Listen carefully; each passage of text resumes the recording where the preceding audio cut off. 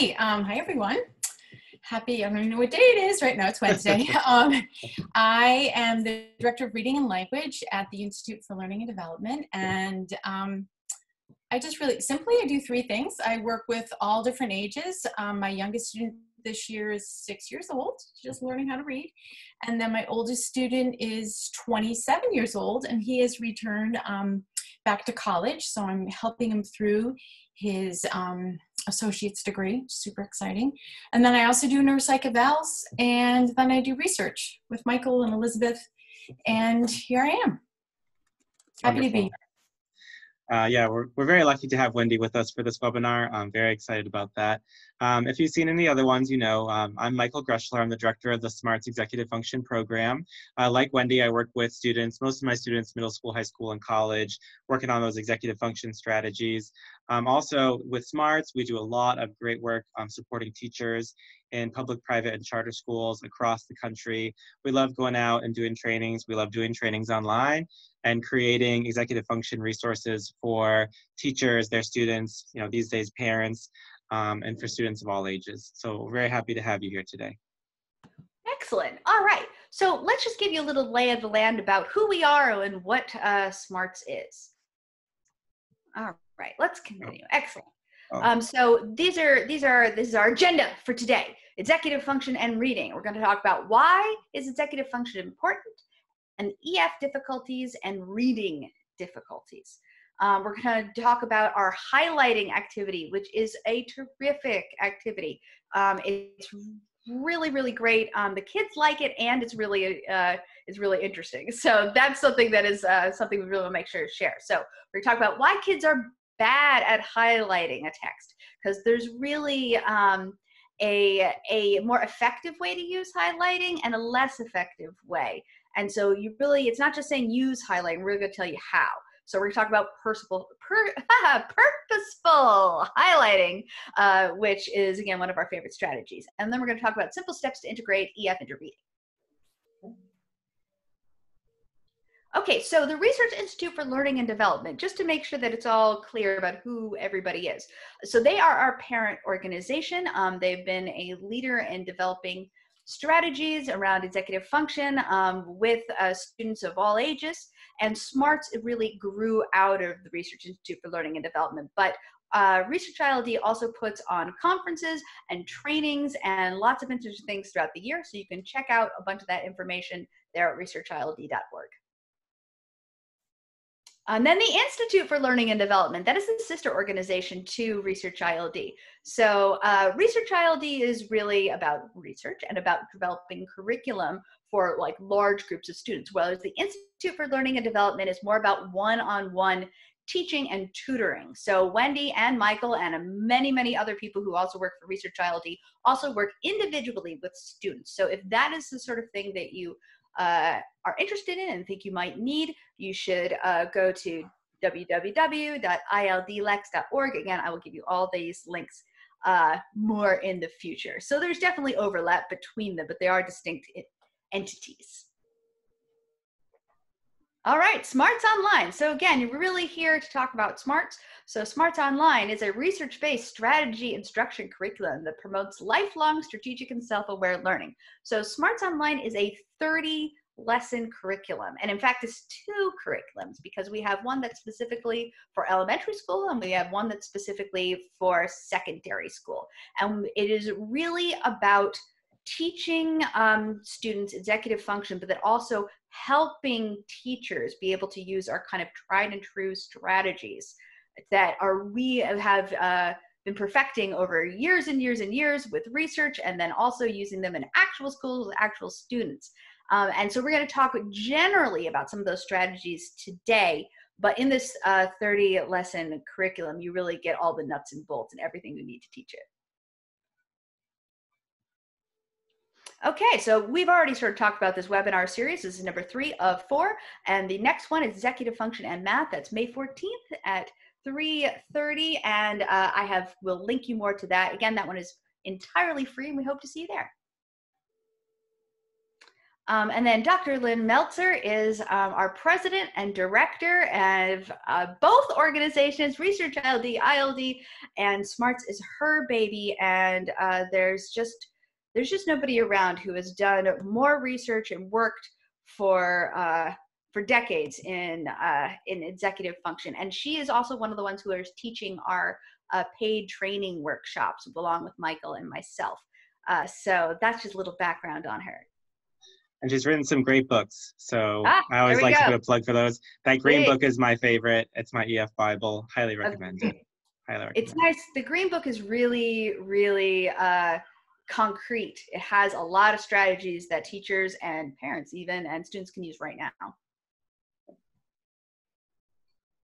Um, okay, and then the last, uh, the last thing is uh, this is the training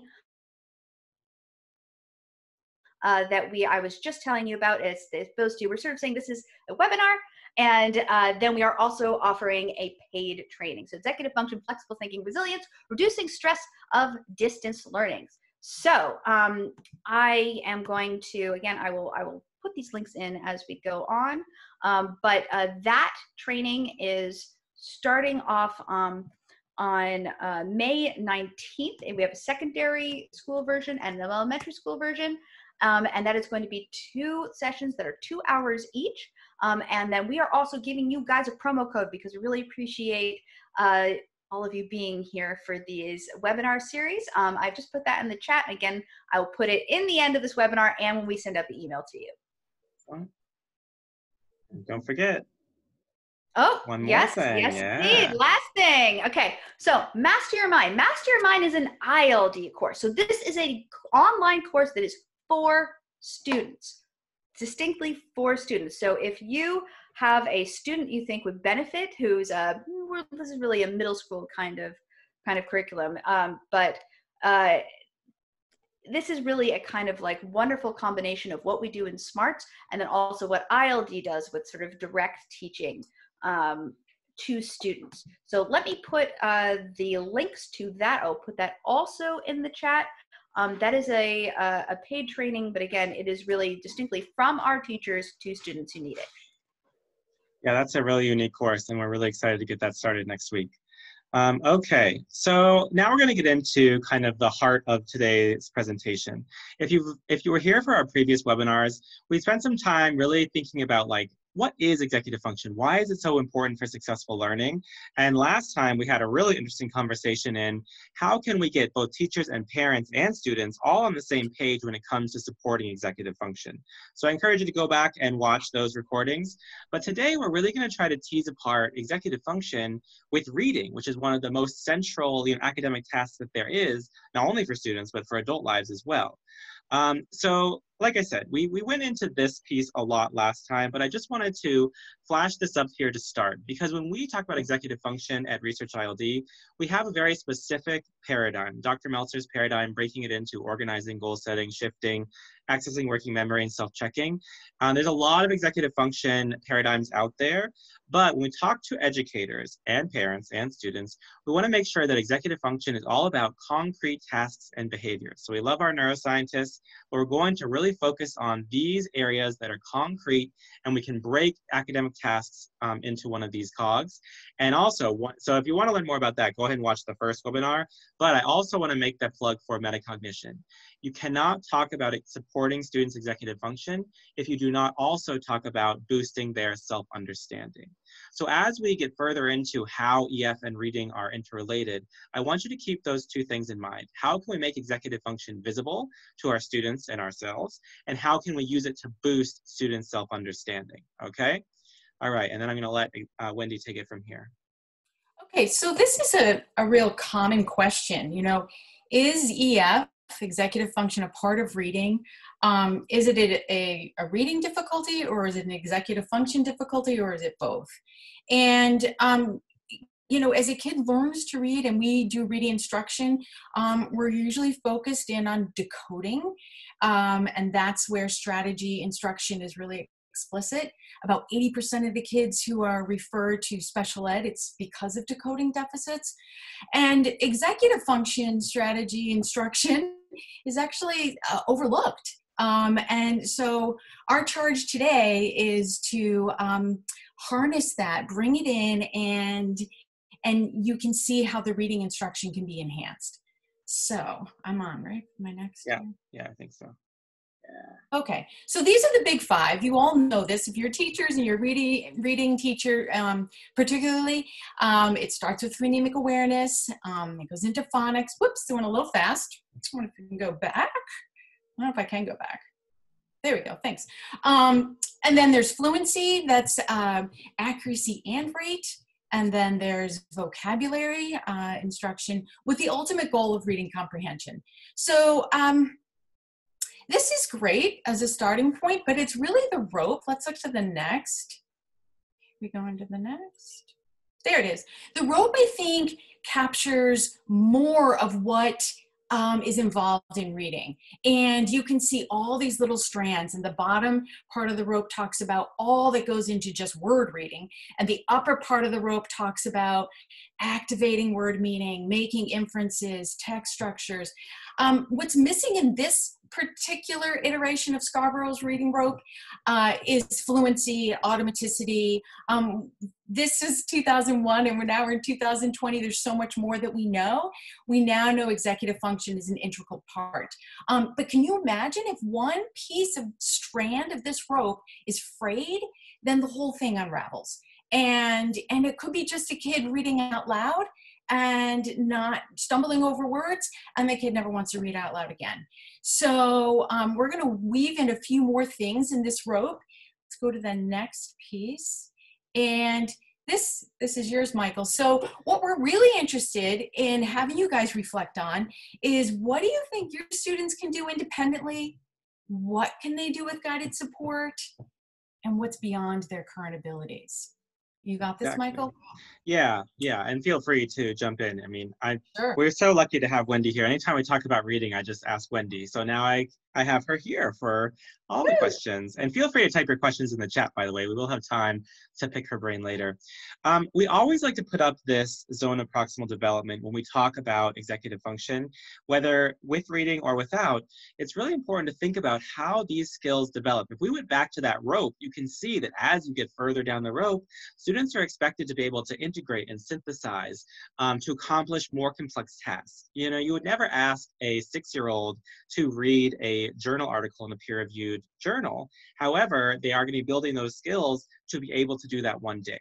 Um, so we like to try to trace out what is a reasonable expectation? This actually came out of, you know, we do these presentations and someone comes to us and they say, well, what should my kid be able to do?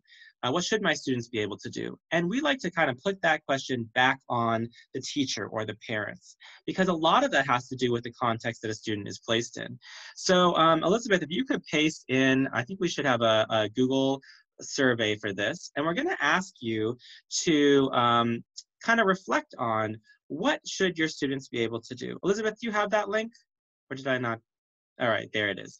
So if you can cut and paste um, that Google link into your um, browser, I would appreciate it. If you're afraid of the tech, then don't worry about it.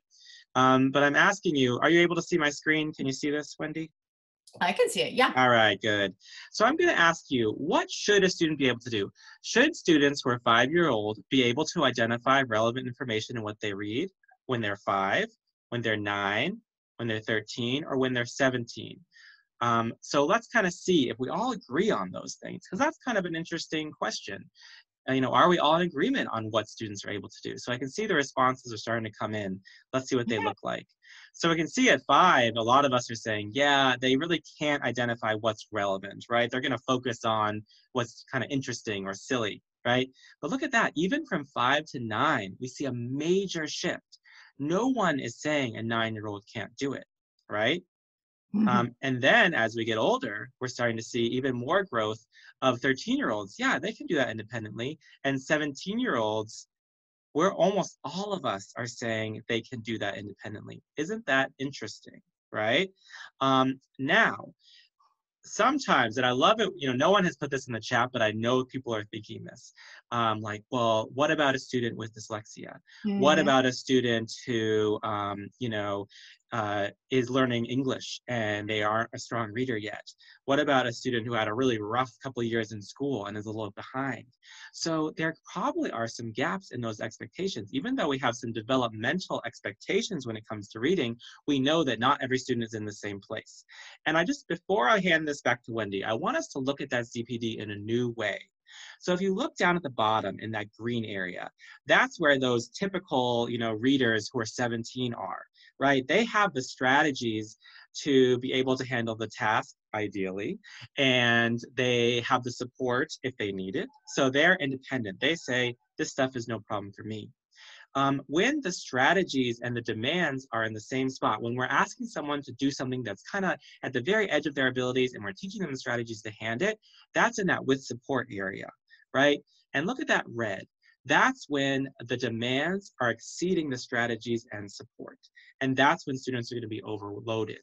So even though we might have some pretty solid developmental expectations for our students, we should really watch where these areas are.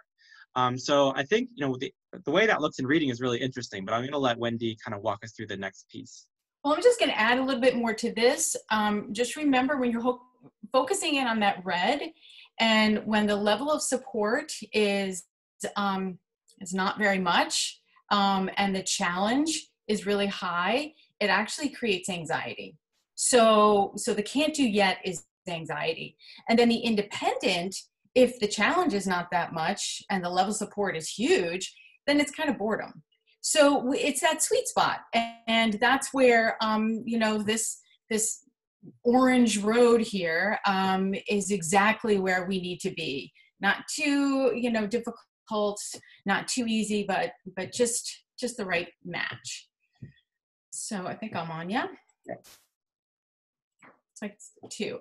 Okay, so this should be really familiar to you guys, a decodable text. What are kids doing as, um, as young readers? And the text you can see is there's a lot of repetition, there's um, pictures, um, there's not many sentences. Um, you can tell this is focusing on short vowel sounds. And then, and the focus here is obviously learning to read. Then we move on to mid-level books where the text changes. There's maybe a few um, pictures, but the focus shifts now to reading to learn. And I put in Kwame Alexander's book here because he has been so instrumental in getting uh, reluctant, struggling readers reading because he's writing in in verse. And so that the text is not as taxing, but the interest is really, really high. So, um, and it's also adding more diversity. So I, I can't say enough about what he has helped and brought to our um, bookshelves. And then we have the upper level, level books. Um, now we have no pictures and the text is, is, is pretty um, small um, and the idea here is that analysis and synthesis. That's that that upper end of that rope. Um, obviously, Romeo and Juliet, you know, is a very common high school book. Uh, the, the text is is really impossible to decode, even if you're a good decoder. So now we're all about inferencing. So, so what does it look like when the expectations have increased and the um, the amount, it's sort of the volume what the kids have to do and the velocity um, at which they're being asked to do it. Uh, when that happens, then their executive function challenges are taxed. And we call this the clogged funnel. So all of us experience this, nothing's going through. And even right now with kids all learning online, I have a lot of kids that just saying, forget it. It's, it's too much um, I don't know what I'm supposed to do. And, and teachers are putting really good information out there, but it's it's a lot because the English teacher's putting really good information and then they got to zoom in and do some, you know, even gym classes requiring them to do something. So it's um, they, they just want to give up. They they they don't have um, a way of breaking it down. And this is what they look like. Forget it. Um, so just think for a few minutes what type of reading assignments do your students struggle with. And one thing that I I would be remiss if I didn't uh, mention it is this motivation piece. So, something that we talk about a lot, and this is the expectancy value theory, where motivation actually equals expectation of success times valuing the task. So, if a kid is a decent reader, then they feel pretty good about diving in because they have background knowledge and, and, they remember, yeah, I know how to read this. But if they don't really care about it, maybe they don't care about the class, maybe they don't think the teacher even looks at the information, um, you know, they're going to be less motivated to actually do it. Um, I will say this even happened with a parent. Um, so I work with a lot of students, and then now we're working with parents. And um, one parent was saying, you know, my kid just doesn't want to do this other homework. But I could really tell that she didn't value it, and the kid picked up on that. So he didn't think he really needed to do it. So, something that we need to be thinking about, we can't forget that, how we motivate our students. Um, all right, let's see. So, reading comprehension, I really encourage you guys to do this. I ask my students to do this. If you have a blank piece of paper, uh, put reading comprehension in the middle. And we're going to do some spokes and try to figure out what does reading comprehension entail? It's not a single entity. And so these are the things that I come up with, and I have the, the students do it. So, one obviously is decoding. Are you a good reader? Do you have difficulty? What, what happens? What do you do when you come across an unfamiliar word? Do you know how to break it down into a syllable? Do you know syllabication rules? So, that's the direct instruction. Vocabulary. Some kids really hate to read. They might have a really good listening vocabulary, but in print they they don't have that connection. Um, words the way they're sound or the way they're pronounced are completely different. Segue have you seen that written? It's totally different. So vocabulary is a huge part of reading comprehension. Processing speed. Um, how quickly do they process what they're reading? Um, you know that some kids i'm just a really slow reader by the time i get to the end it just takes me forever and that's very discouraging um, which would add to the lack of motivation. I don't feel like doing it. I'm not in the mood. And then another piece, obviously, can they attend to the task? Um, Romeo and Juliet's really hard to attend to if, if you have no background knowledge. So these are, you can see in purple. Now what I'm going to show you, and I'm sure you guys have some more, are all the executive function pieces. So I'm going to start at the top, and this is text structures, genres, big picture. So, a text structure, understanding the big picture of a piece of literature really helps the kid understand the organization. So, organization is an EF process. How is this organized? And once they know how it's organized, they're going to have a better idea. Okay, now I understand. Even even in terms of subheadings, you know, I encourage kids with the textbook go through it do a little walk how's it set up what are the blue headings what's not even chapters are there chapter titles? Um, so text structure is really important. Um, clear expectations is it manageable? So this is really goal setting. So here you know kids might say okay i have a goal if i want to finish this chapter by by friday. Sometimes we as teachers actually look um, and and we tell the kids um, your goal is to read three pages by um, the next week. So sometimes the teachers are giving it and it's really clear. Some kind we want the kids to actually start setting their own goals. So that's goal setting. Down here multiple meaning words drawing inferences being able to shift. So sail. Is it the sail on a sailboat or is it a sale that is happening at a store some kids can't they have a lot of difficulty with shifting so yes, this is cognitive flexibility. So this is shifting mindsets, another executive function process. And then over here we have background information. So this is where, you know, a lot of researchers in the reading field are saying, you know, we, this is really the, the, of the big five, this should be the fifth one. Kids need to have background information. It's that Velcro to stick to. So the more they know about a text, the more they know about words, um, the more interested they are think about you. I know for me, if I'm reading a book and it takes place in Boston, I'm like, oh yeah, it's so it's familiar, it's comforting. Same thing even when we watch a movie. It's it's like, oh, I, I, get this. I'm connected. Um, and so one little thing I have kids do is, um, and this is another thing you can do with your students, say the word cat and ask them what comes to mind.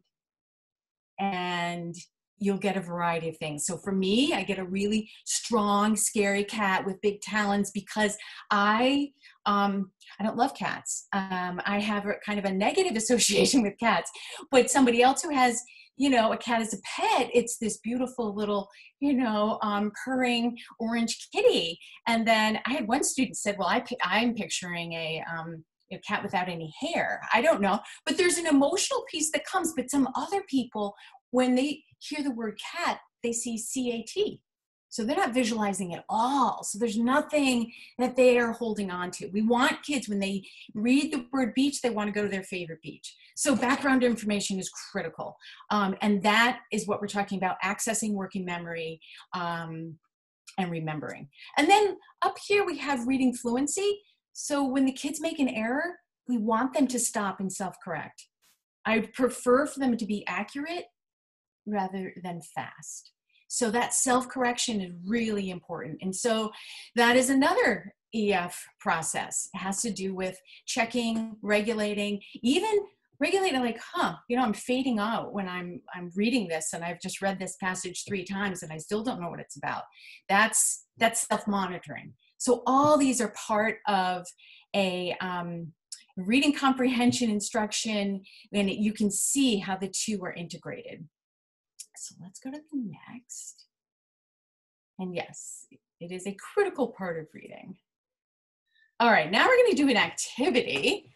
You're on, yes. Michael. yeah, so we're going to kind of take this and make this come to life because if we look at this and then you think about that ZPD that we just talked about, think about how much more complicated this stuff gets with remember we talked about um, kids can identify relevant information. Think about how this looked as wendy went through those different books.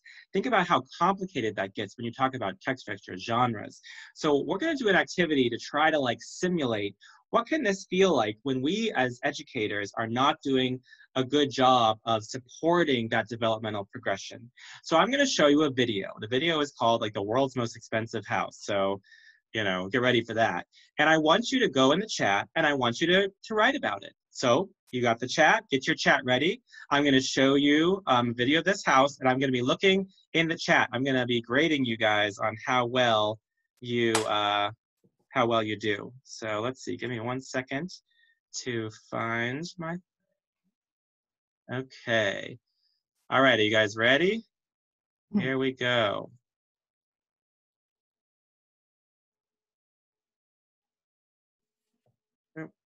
Sound off intentional. Yes.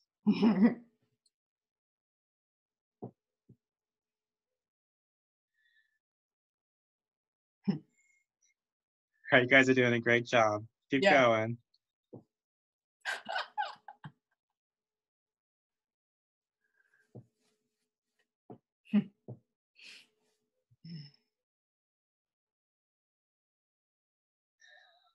what the heck is that claw thing?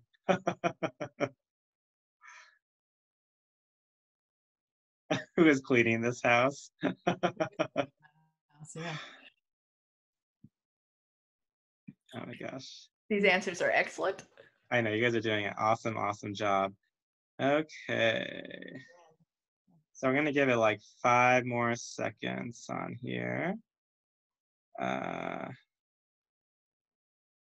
wow, you guys did a great job. Okay, hold on one second. Mm-hmm. I was hoping to get all your comments, but I don't know if I'm going to be able to. All right, let's just start here. Who lives there? Soulless. Yeah.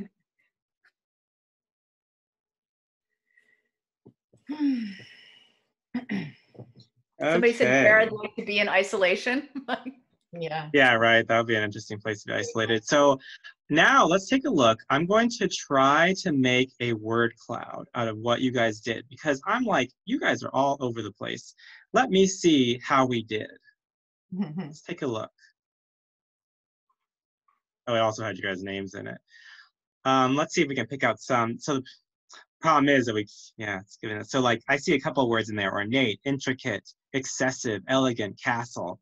Um, I didn't have a way to take out your names, unfortunately, but I can still look at that. Want, uh, fancy, glamour, shapes, elaborate, large, stressful, complicated, palace, uh, stuffy, footage. Um, I think, you know, Karen Curlin did a good job. Uh, she had it in there. Everyone. Um, so nice, nice job, but but oh, gosh, I'm not really getting a very good sense of this house from here. So I'm gonna have to say, I'm gonna give you guys a C minus. I see a lot of effort, but mm, I'm not really getting a sense of what I wanted, right? Now, I kind of set you up. Okay. I know it's kind of evil. Sorry. I kind of mm-hmm. set you up to do poorly there, though, and that's a really that's kind of what we want to take away from this. Um, mm-hmm. Remember when Wendy showed you that motivation model? Um, what was it? Expected. Will you remind me, Wendy? Do you know off the top of your head? Expectation of success times value. Good. So you, you expect that you're going to be successful, so you have good confidence, and then you value it. You think it's really important. And when we think about how um, reading assignments get more complicated, more complicated, more complicated, I want you to think about executive function strategies as a way to help students expect to be successful and also to understand the end result. I just gave you this assignment and you had no idea what the end purpose was. And I also gave you a bad grade. So you now you don't expect to be successful, you don't understand the point of it. We have to watch out for that. So we're going to look at um, highlighting. And highlighting is, I think, an area where we don't necessarily do a good job.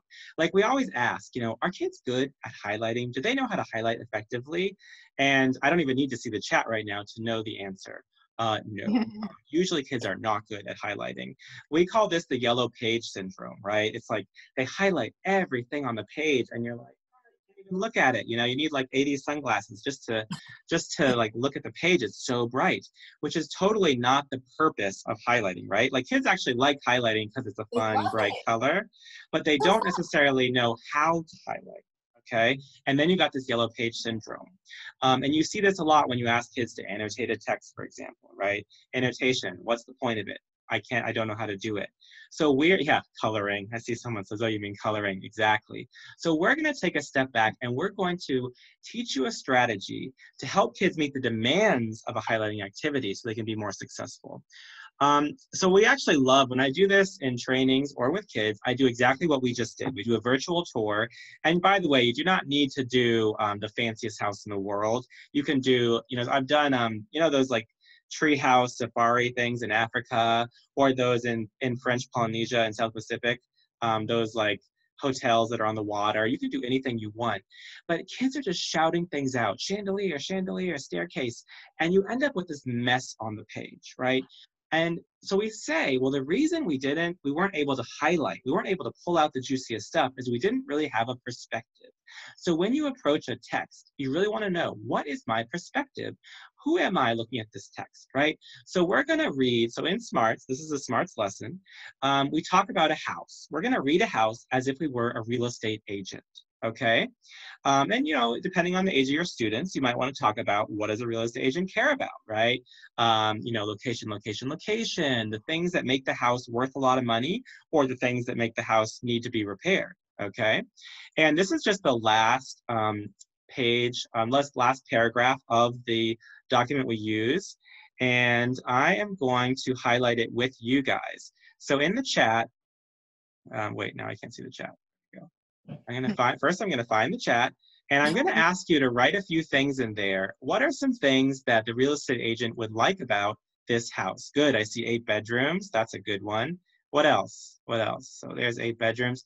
By the way, um, this I'm using the annotate feature in Zoom. You guys can all use this. Oh, who did that?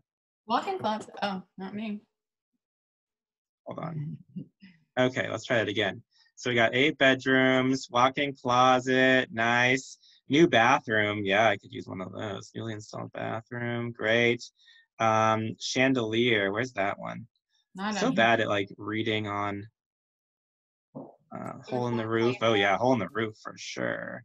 Okay, that's so let's stop with that one. Let's just stop right there for that. So I see someone doing portable Xbox, which is kind of funny. I don't know if you could sell a house with the Xbox. But let me just read what I highlighted.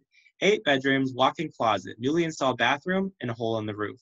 So you know what that sounds like? That sounds like one of those little ads that you might see advertising a house. And mm. now you as the buyer know exactly what to expect. And there's a little bit of a price on there. Oh yeah, third floor playroom, that's a good one. Yeah. So we highlighted that with a great perspective. I know exactly um, what I'm getting into. I've pulled out the important things for my perspective.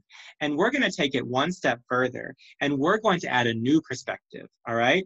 So I always like to, I know there are some smarts educators on this webinar, but I wonder what is the next perspective that we're going to have? So smarts educators, don't you put that in there. I know you guys know. Um, we're going to be a private investigator. So I'm going to go back, okay, and I'm going to read this another time and I'm going to use a different color. I'm going to go to my annotate menu and I'm going to pick, oh, let's do yellow this time. Yeah, so Elizabeth said thinking thief. We used to do thief, but then we're like, mm, that's not very socially, you know, pro-social. Let's do a detective who's going to catch a thief. So looking at this paragraph again with a new perspective, what are the things that the detective cares about? Yes, I see jewelry. Oh, sorry, that's a in one. Jewelry, um, furs, who even has furs anymore, right? Safety deposit box, great. Um, there's that Xbox, right? Uh-huh. Good. And the hole in the roof also, I love that. That one you can highlight for both and actually fire escape while you're at it, right? Uh-huh. Um, so now I'm just gonna read what I highlighted as the detective. Furs, safety deposit box, jewelry, portable Xbox, hole in the roof near the fire escape. So now you know what that sounds like. It sounds like a detective in one of those shows who has that little notebook in, in their pocket and they're like, mm-hmm, filing their police report. So notice, same text and different perspective. And I use my perspective to grab what I needed from the text. So I'm going to erase my annotations, but um, thank you guys so much for doing that with me. It's really a great activity. And I've done this with kids as young as nine. I've done this with you know, college students, and I do it with adults all the time in trainings. And it's so interesting to hear them explain their reasoning. Um, one time, this is a different uh, part of it, but there was like a newly painted room, and the girl had highlighted um, detective cares about the newly painted room, and I was like, no, I don't think that's true because that's something the real estate agent cares about, not the detective. And she said to me, Well, what if they painted over all the evidence? And I was like, Oh mm. my gosh. You know, that's critical thinking 101. But if we give students the tools to be able to document their thinking as the tasks get harder, we've given them strategies to handle those complicated tasks. Um, you know, this is what I want a page to look at. I love those different colors as a way for students to break down a task and use a strategy to tackle the task that get harder and harder. You know, when I have kids who have to annotate a novel, guess what? They don't like it. Mm-hmm. You know, shocking, right? But think about that um, formula that Wendy gave you. They don't expect to be successful because they don't even know what the, t- the teacher wants. You know, the English teacher, and I do, I love English teachers. Um, you know, I'm an English teacher at heart sometimes um, they would like oh highlight what interests you highlight what excites you. You know that's not speaking the student's language but if instead we say you're going to have to do an essay on this so highlight quotes highlight new characters highlight you know themes that go to what we talked about in class right? If we give them different colors for those things then they know what it takes to be successful and they also understand the endpoint of the assignment. So they're more motivated to use the strategy to handle um, tasks that are harder. So we've seen purposeful highlighting on um, you know, main ideas and details when you're summarizing, um, new vocab words. I love to use different colors for things I don't understand yet. Um, you can use them in math to highlight the different parts of a math problem. So, you know, if kids like highlighters because they're colorful, so, you know, if kids want to use them, let's give them a strategy to use them meaningfully. You know, we, back in my office, which I miss, um, Wendy and I kind of swap back and forth. We have like a giant bag of highlighters. I swear there are 50 highlighters in there. And if a kid says, can I use a highlighter? I say, no, you got to use two highlighters, right? Use those colors, use that purposeful highlighting. Um, here's just a couple examples of times we've applied it. This is actually from the third grade um, MCAS, which is the state um, assessment here. And so they're supposed to be breaking down this passage about Benjamin Franklin. And we're saying, okay, writer, inventor, statesman, and we're going to use different colors. So for writer, we're doing things in blue. For inventor, things in yellow. And for statesman, things in green. And by the way, these are the real colors that are part of the online assessment. So you know, they, they're, they're they're grading kids on computers now, and they have this highlighting feature, but kids don't know how to use it. So this is a great strategy when you're doing um, those online assessments. And then they can use these questions to go back and look for evidence that they highlighted to answer the question. So I love this, you know, uh, guess what? Kids don't always find these reading tests very fun, but if we give them strategies to use these tools, they can be more motivated on them. Um, Wendy, I think this is one of your examples, sure. right? Yeah, so this is a high school student who is um, required to read things they carry. And this, I mean, I just literally did this with a student last week um, and talk about lack of motivation. She said, forget it. You know, she just finished reading Great Gatsby, but, you know, there's a movie to, with Great Gatsby and she loved it. But this, she had no background knowledge. And so um, I use purposeful highlighting to give her the big picture. So we did this simultaneously. This is in a Google Doc. So on there, there's highlighting. And um, what we did is we shared the reading because she's dyslexic, so reading isn't her favorite thing to do either. So I read the first paragraph and and then we just thought like so what what do you think was the essence of the first paragraph? And he said well there's a lot about love and you know, um, false hope, and maybe this this Jimmy Cross guy likes this Martha, but she doesn't like him back, and so she decided to use pink because that you know reminds her of love, and so she highlighted the things that um, emphasized what this paragraph was about, and then you can see she chose a different color um, for for this second paragraph because it's completely different information. So really fun to do, easy to do. You can um, get a copy of the, the plot summary. You can even go to um, SparkNotes and copy it into a Word doc, Google Doc, and do it simultaneously together. Um, super helpful. She felt so much better after. Now, granted, I, I just want to emphasize this doesn't doesn't replace reading the the entire book. The book is so much more detailed, but it just gave her a little Velcro to stick to. Um, this next one here it's a little bit more, um, you know, back to paper. Um, I also did this with a student online and um, up front, I asked him, we're going to look for the causes and you're going to underline those in blue. And then we're going to look for the effect and we're going to underline those in yellow. So we actually did this simultaneously.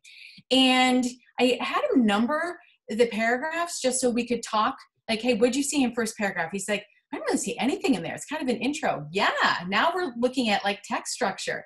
How about the second? Well, a little more effects. And then lo and behold, the fourth paragraph was all about the, the causes. And so I love that after we did this, he realized it was the way that it was written, which is really a reflection of writing. And so um, it was helpful for him to, again, get a big picture in a different way. This is factual information and moving on. So we want you guys to leave with you know some simple steps. You're already doing a lot and um, we want to see how we can just make it just clearer for you in four simple steps. So keeping these in mind these are ef strategies processes. Uh, the very first thing is clearly you need to provide clear directions. So michael gave you that you know the tour of the house with absolutely no directions. He's like, here, this, you actually said it was for sale, but here, just go ahead. And, you know, it was willy nilly. He, you didn't really know what to write down. If you had said, or we had said, um, we want you to look at this house and look at the features, look at the fancy features. This house is being sold. What are some features that are really appealing to you? And clear, clear directions. Um, I will also say when I'm giving directions now, even more importantly, um, is to do the bullets because when kids see a paragraph, they can't break it down. Now, high school kids, they may see a paragraph directions, um, especially for an essay. It's really important that we encourage them to number it so they know all the things they need to do for a particular assignment. So, clear directions. Setting up a realistic goal, um, again, clear expectations. I, I had a student do some research and I thought he could get 10 things. I thought that was realistic. And he came back, he's like, no, I'm only doing five because that that's better for me. And he was right. That it was new to him to research something. So five, but it's sometimes, you know, actually labeling um, and putting a number to it is very calming. Like, oh, I only have to do five pages. I only have to do one um, chapter. Um, okay, moving on So, so far we have clear directions and we have clear expectations and then actually teach the strategy. So Michael walked you right through, we showed you explicitly how to highlight the things. Do it with the kids. We can do it simultaneously online with all our highlighting tools, um, which is actually a benefit. Um, I always say uh, verbalize what you're doing, kind of those, those, that think cloud. Hmm, let's see what should I highlight here? Just talk out loud. Um, and I also really think it's important to show non-examples. Just like Michael showed you the yellow pages, this is not what we want it to look like. That's too much. Um, and then lastly, this is probably the most important. This is to be uh, flexible and reflect. Did that work? Did it not work? What would you want to do next time? And allow for that discussion. Um, if you allow the kids to choose it it gives them ownership it gives them autonomy and that is the most important thing. I'll give you a little um, snippet. My husband just retaught me how to play cribbage and he plays it all the time and when he was trying his directions were all verbal and he said, Well, you need to do this, and we need to cut the deck thin to win. And I said, Can you stop? Can we just start playing? So I think that's something that's really important too. You have to pause and who who is on the receiving end what kinds of way do they uh, need to be given directions maybe a demonstration is more valuable than a, a lot of words um, so i always like because i like to remember things in an acronym i moved these these beginning letters around and what it comes out to is dress. So there you go dress for success. So the d is the directions clear directions. The r reflect all the time. Reflect and be flexible. Um, the e clear expectations. And the s strategy instruction. So um, there you are and here we are. Question. excellent um, so we're going to spend a little time. We, so people have been putting some great questions in the chat, so continue to do that. Um, we're going to take about five or six minutes for questions, and then Elizabeth is going to kind of uh, take us out, um, you know, with the, how to tell you how to get your certificates, etc. So a couple questions were on um, the, you know, is this from the curriculum and how much of this is in the curriculum? So, you know, the everything you saw when we started talking about highlighting, the purposeful highlighting, all of that is in the curriculum. So one lesson comes with a lesson plan for the teachers, the handouts for the students, as well as a PowerPoint you can use to model and guide instruction. Um, so all of that was in there. The lesson plan actually said, someone said, well, what about this stuff that Wendy's telling us right now with the four pointers and this and that? So that was developed for this webinar specifically. But, um, you know, we do start every lesson plan with what we call the one pager. It has key definitions. So you as the teacher are kind of up to speed on what is the EF research and theory that supports this lesson, what are best practices, etc. Um, the curriculum itself is, as Elizabeth mentioned, it's 30 lessons. We have elementary and middle school, high school, so it's a K to 12 EF solution. The curriculum is modular. You can pick and choose different lessons to customize for the you know students and the setting.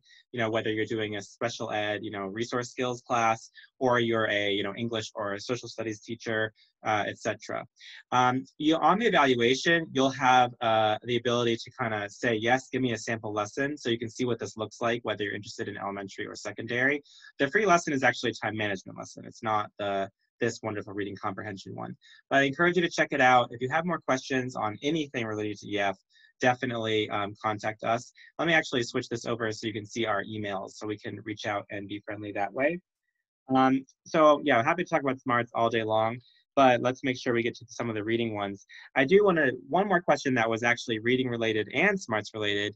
Um, one of our wonderful smarts teachers uh, who is uh, on this webinar said, well, what about Skim and Scoop? You should teach these together. So Skim and Scoop is another one of the awesome reading strategies that we took, it, and we took Wendy's brain and we just went like this, and we mm-hmm. put it into the curriculum. I love Skim and Scoop. It's a strategy to um, quickly summarize main idea and, and details, and they do go very well together. Um, so what I'll say about purpose purposeful highlighting, it's a great one to start with. And then build more strategies on top of that. Because if you're doing a skim and scoop and you're talking main idea and details, why not do those in different colors? Or if you want to mm-hmm. do a summarizing um, of a fiction story strategy, why not use different colors? Purposeful highlighting is a great gateway into mm. um, reading strategies across the board. Do you agree with that, Wendy? Anything you want to say on that? I do, and, and, you know the one um, about the earthquake, uh, we actually were doing a little skim and scooping because after things were highlighted, we we put uh, you couldn't really see, but there were some uh, words in the margin. Um, so it, it, was a combination of both. Uh, somebody also mentioned um, SQ3R. That's a really great one to um, too to survey something and read and um, ask questions. I think that's helpful. Um, background knowledge is massive. Uh, that's that's really um, if you can spend a lot of time creating information about the setting, about even the author, because the author is usually sharing a piece of his or her life within his, um, the stories that written. That's really important. I see somebody else saying visualizing and verbalizing, and that that was my whole idea with the cat. Like if you know you're going to pull up all sorts of things, or maybe pull up nothing. So visualizing, verbalizing is um, very very helpful. That's who Lindamood um, Bell. And um, yeah, we would have put skim and scoop in here, but we just thought it was too much. and yeah. Yeah. tried to make it a little more pithy. Um, um, somebody also oh, sorry, go ahead. That I didn't put in um, the acronym DRESS. We can add it, and um, so there will be one more slide that we can add. So you'll sure. get that. Sure. Yeah. Um, so there was another question that, well, there's two questions that got kind of buried. So one is about reading on screens.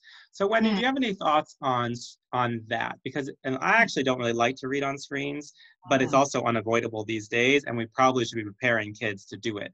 So what do you think about um, strat like how to integrate with reading on screens? Any any tips for that? Well, um, with this the high school student, you know, I shared it. So um, okay. I read a paragraph, she read a paragraph. So, um, and usually um, if I'm reading out loud, then the student needs to come up with a summary of that paragraph. So they're not being asked to do two things at one time. And then um, if they're reading out loud, I'll actually say, hey, this is what I think that paragraph's about. So it's a, it's a combination. Um, you know, I have a lot of students right now, if I have the same book, that is ideal. But I will tell you, um, when one part of your senses is blocked off, there's another part that's heightened. So, an example is when you're only hearing the story um, and you don't have the visual. I have found that sometimes kids are are more tuned in. Like I had a student who um, I didn't have an opportunity to copy and send her the pages, and I said, "Okay, I'm going to read the, the the chapter. Your job is to draw a picture." And she's like, I just I don't know what I'm going to draw. And I said, well, you you want to pause until you have a picture in your mind. And she did an amazing job. So that was the fourth grader. Uh, so it's it's being flexible, honestly, yeah. and and creative. Um, um, I definitely have to say about that as well. So I I am a digital person. I like audiobooks and I like yeah. reading things on screens. And I think that again, almost every screen reader, just regular PDFs, everything you can highlight on them. You can annotate them, you can mark things. And that what's great about that, and what I like to stress with kids is that I don't know if your students are like this, but for me, if pieces of paper come into my life, they disappear. Whereas you can mark up everything on a digital text and it'll stay. You're not going to lose it. Um, so that's really helpful. Also, I also agree that audiobooks can be great because you can fidget during them. Mm-hmm. Like you draw, you can be doing something else. You can be, sometimes it's much easier to focus in um, when you actually have your hands busy. So, like, that's something that, uh, you know, you really, it's like Michael actually says all the time you know you have to make the strategy work for the specific student and sometimes mm. that's trying a few things yeah, yeah one thing I'll add I'll add into that is, uh, and Michael mentioned this before. A lot of teachers ask the kids to annotate, and that's so nebulous. They because they they don't really know. And um, one student said, you know, I, I was reading, and she stopped and she said, "Wait, and I need to annotate." Well, what what do you annotate? oh, it's it said kitty, and I love kitty, so I'm going to just put a little smiley face next to it, um, and it actually disrupts the fluency. Um, so I really encourage people to read a chunk and then discuss. And what I like, my favorite thing after a, you know a couple chapters, even if you do individual chapters, write down one fact, write down one question, and one inference.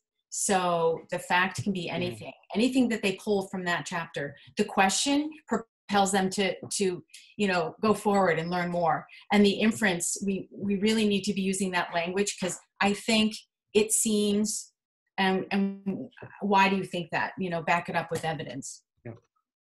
Okay, so um, we're just about out of time, so I want to make sure that Elizabeth has time for the end of webinar spiel. But also, just thank you so much to Wendy for making herself available for this. I mean, thank just you. such a treasure trove of reading stuff. Like, you know, anytime I have a question, I'm like, Wendy. so uh, that's really wonderful. And don't forget, this will be up on the YouTube. You can like learn from this, you know, for years to come.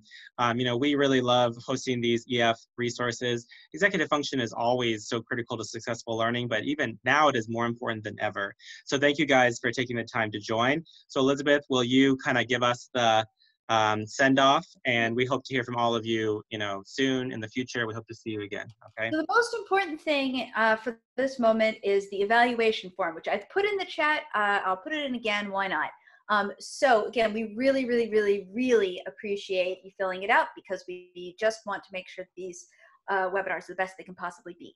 Also, if you um, need an email that says that you uh, were here for this webinar, you have to fill out the evaluation to get that.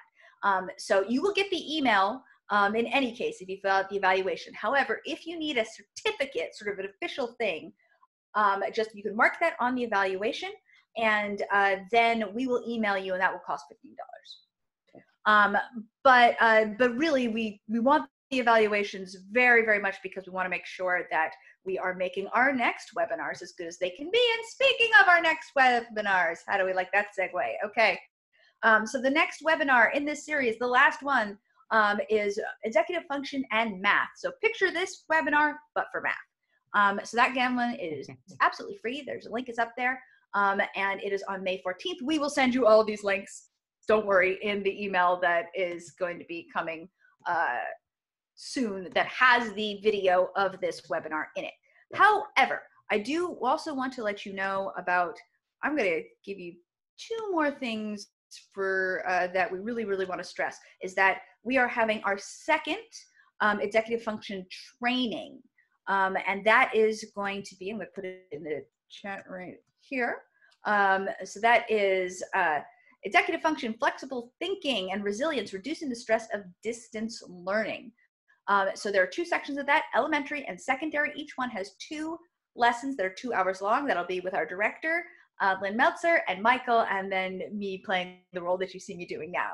Um, and this one is you get uh, four strategies um, as well. So that's whole lessons, and then we teach you how to teach them. So this is really intensive. Like what you've learned today is very much an overview of executive function strategies and SMART. This one is very much uh, very, very focused.